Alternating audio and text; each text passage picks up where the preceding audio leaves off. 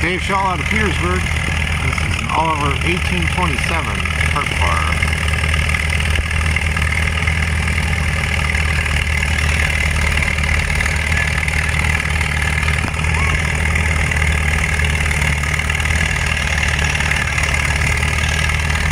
Beat the mark of 90 and a quarter.